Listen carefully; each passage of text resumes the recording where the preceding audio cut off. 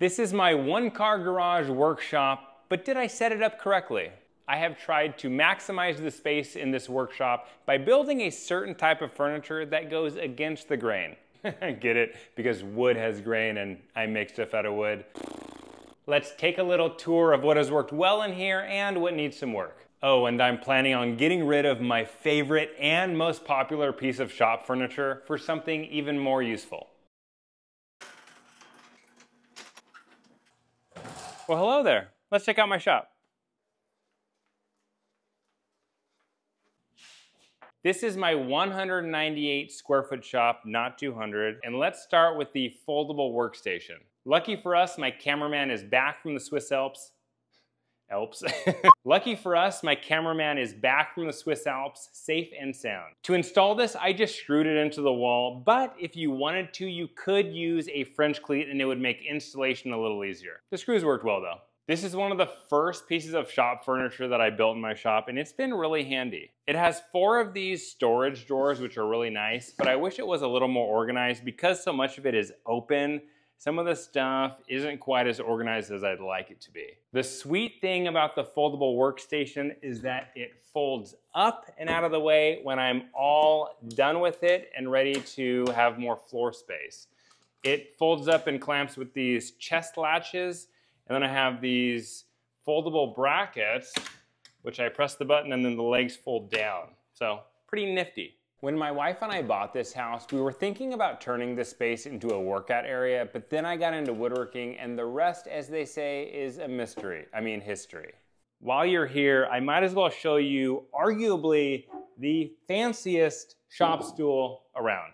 This may be a little fancier than you need for a workshop, but I really thought that the mahogany top with the white oak base would be a nice contrast. But I'm glad I did it because it's a really nice tool and building things that are nicer than you need in a workshop is kind of my thing. And it swivels, which is super fun. Whee! I'm dizzy. Let's move over to the two for one tool cart.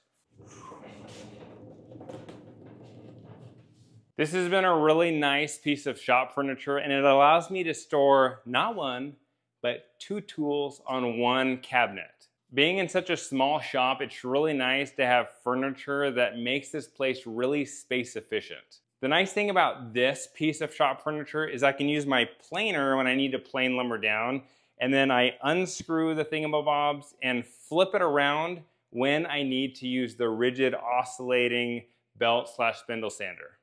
Nice. One thing that I'm not doing super great in my shop is using the walls as efficiently as I could. But later in the video, I'll talk about how I'm planning on remedying that situation.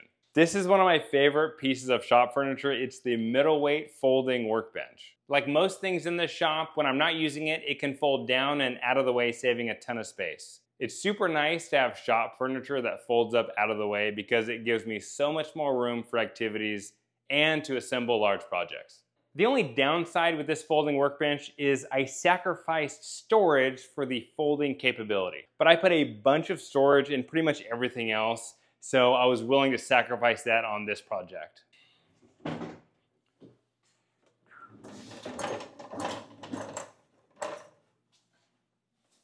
Clamp storage. Believe it or not, I know a lot of people that have way more clamps than this, but this gets me by. This is the first clamp rack that I built and I have free plans on my website. And it got the job done, but I found I had some parallel clamps and pipe clamps that this didn't really work very well for. So I built the ultimate clamp rack, sorry I couldn't come up with a better name, and this is much better suited for parallel clamps and pipe clamps, but it also fits trigger clamps and F-style clamps. I call these clamps my babies, and I know you're not supposed to put baby in a corner, but I think they like it.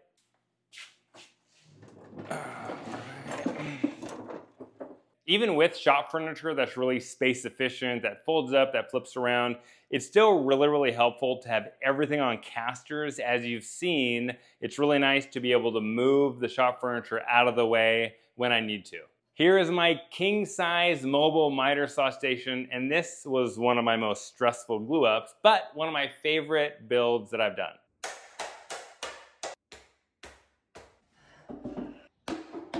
If you open this nifty little door, you'll see a shop vac, which really, really helps with dust collection.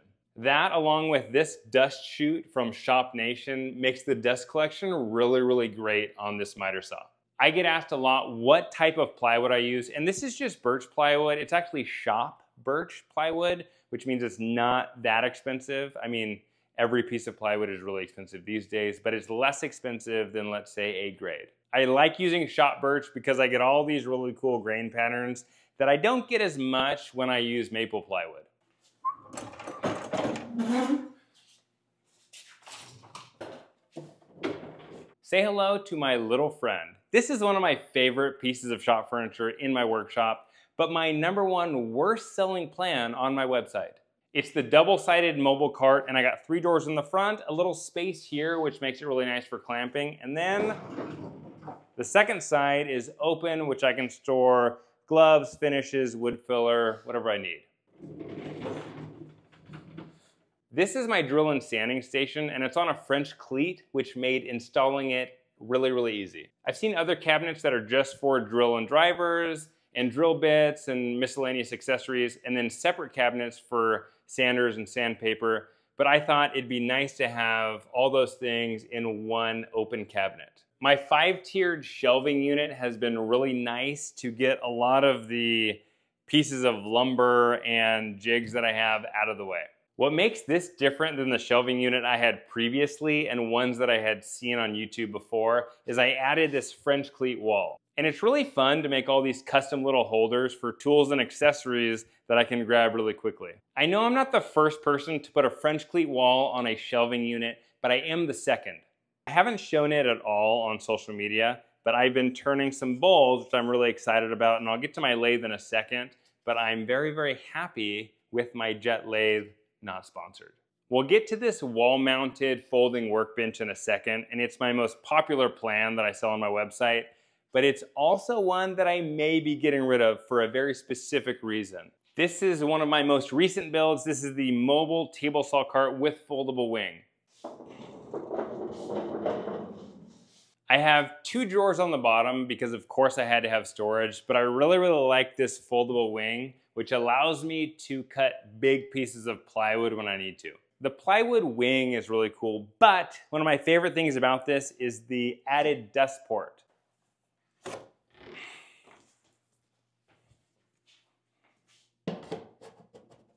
I'll get to my dust collector in a minute, but my table saw dust collection before I built this cart was pretty atrocious. And this has made it a lot better. But it's not just because of the new dust collector I got. This is almost all the way enclosed, so the dust has nowhere to go but into the tube. All the dust doesn't go into the tube, but most of it does. Okay, it's dad joke time. Why did the ducks attack the dog? Because it was purebred. you are welcome. This cabinet I built a few years ago, and it's not really the best for this lathe because it puts the lathe a little higher than I would like. But until I build a specific lathe stand for this Jet 12 by 21 inch lathe, this will have to do. I'm really happy with this lathe, and if you have any questions about it, just let me know in the comments. As you can see, the drawers are very organized, joking because they're atrocious, but that's future Thomas's problem. It's still nice that I have some storage. All right, my wall-mounted folding workbench. This was really, really nice and helped me out a lot when I first built it. It freed up so much space around here, so when I have a large furniture piece that I need to assemble, it's really, really nice not to have a workbench taking up all this floor space. The only issue is my shop is really small and this workbench is pretty big. I'm very appreciative for the space that I do have because I hear in the comments and people message me that their shop is much, much smaller than mine, especially people in Europe. But this is a three foot by six and a half foot workbench, so it's just too big for this space. That's why I built the middleweight folding workbench that I showed you earlier. It's just a better size for this space. So what am I going to do with this? I'm actually planning on taking it apart and then building something else with its pieces. So if you have any ideas of what I should build, let me know in the comments. And since I'm on a bit of a French cleat kick, I'm thinking about turning this whole wall into a French cleat wall. but a fancy French cleat wall with some white oak French cleats. I'll keep you posted on that, and of course, whatever I turn this space into, I'll make a video about it.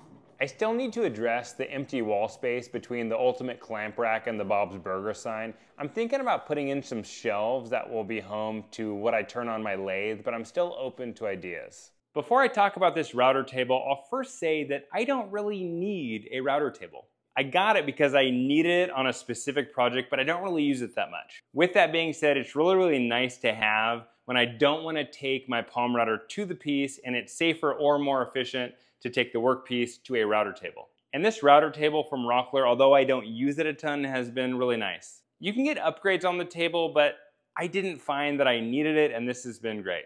One thing I need to do more of in here is put up more signs. I have a couple signs like this TCW one here and this TCW sign here. And I actually like this one better because it's more natural wood, which I tend to gravitate towards. And that's one thing that I've really enjoyed doing. And I recently got a laser, so more signs are a coming.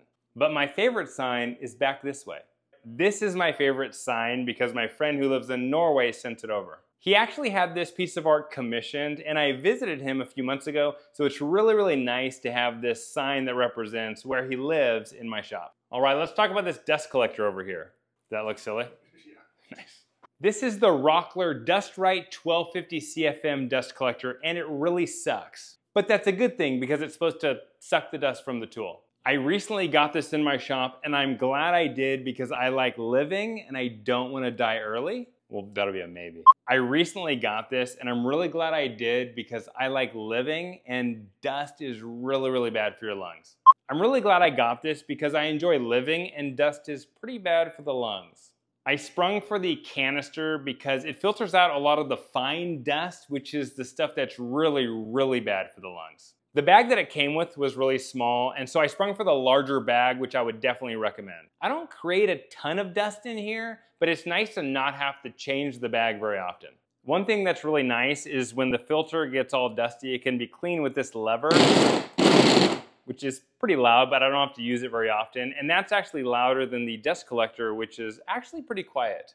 The only thing I have left to do for this dust collector is create a wall holder for the hose. For now, I just put it up here, which is fine, but it'd be really nice to have somewhere out of the way that the hose can be. One nice thing about being in a small shop is it doesn't take a lot of time to heat up in the winter because it's small. I mean, it's a little bigger than this, maybe like this.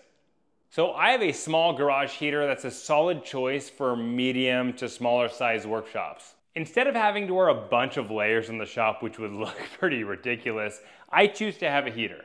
I gotta take off my extra pair of gloves. My hands are getting kind of sweaty. It's a pretty small unit, as you can see, so it doesn't take up a ton of space. And this top bar, along with the hardware, allows you to install it onto the ceiling. To access the wiring, all you need to do is unscrew one screw from the bottom and you're there. And to insert your wiring, just pop out one circle on each side. It comes with a pretty nifty remote that takes two AAA batteries so you can control the temperature at your fingertips. It's pretty quiet, so you'll barely notice it when it's on, and it's especially nice if you make videos like me. It won't interfere with your filming. It has an eco-friendly mode for higher energy efficiency, and all in all, this is a solid heater for your garage workshop. Let's talk lighting. When we first moved into this house, there was only this one light. Since then, I added a bunch of lights, which I'll show you in a second, that made this space a lot brighter and easier to do woodworking. A lot of people have a simple light switch to turn on their lights. Oh no, not me. That's way too boring. And when I turn on my lights, it's a lot more fun. I have this light turning on stick that some people call a dowel. Sometimes I get it on the first try, which I like to call the jackpot. Um, not this time. Hey, there we go. The brand is Barrina, and I'll put a link in the description, but I installed six of them and it's worked well. I think I'll install two or three more to get a little more lighting in here. As far as wood storage goes in my shop, I keep it very simple. I got this rack from Bora and it's worked really well. It's actually two sets of racks and I've never had an issue with it. The rack covers a distance of eight feet, but it can easily hold 10 foot boards. I went with these racks because they only come out from the wall 13 inches and other racks that I looked at took up more space. And for me, with how little wood I need to store, it's plenty of storage space. I didn't build my own racks for one very specific reason. I didn't feel like it. Now this technically isn't in my workshop, it's in the weird non-woodworking part of my garage, but here we have the fun size base cabinet. this is where I've installed my slow speed grinder, which is how I sharpen all of my lathe turning tools. It has two doors and a hidden top drawer. This is where I put a lot of my turning tools and accessories and just some miscellaneous things.